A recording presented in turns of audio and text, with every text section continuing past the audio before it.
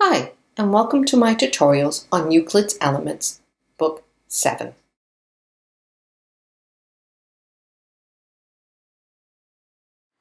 This video presentation is going to be on Proposition 35 of Book 7. Now in this proposition, we have two numbers, a and b, and we have a third number, c, where c can be measured by both a and b.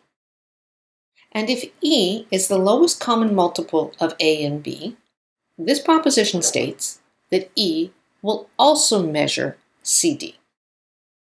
So to prove this, we are going to do it by contradiction. So we are going to assume that CD is not measured by E.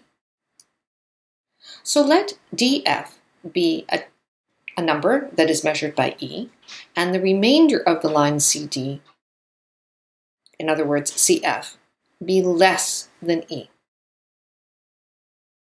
So we have the lowest common multiple of A and B is E. So in other words, E measures is measured by A and B.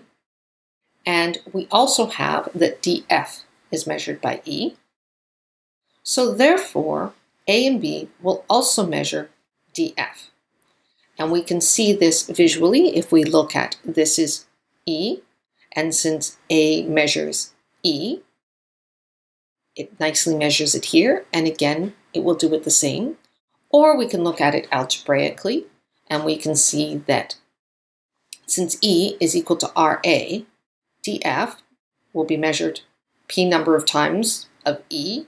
E is RA. So we can see that A measures DF. What's interesting here is that as far as I know, Euclid never actually proves this.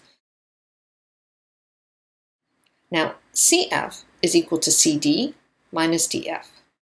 Now, CD is a multiple of A, and DF is a multiple of A, so hence the result CF will also be a multiple of A, and similarly for B. So CF can be measured by A and B.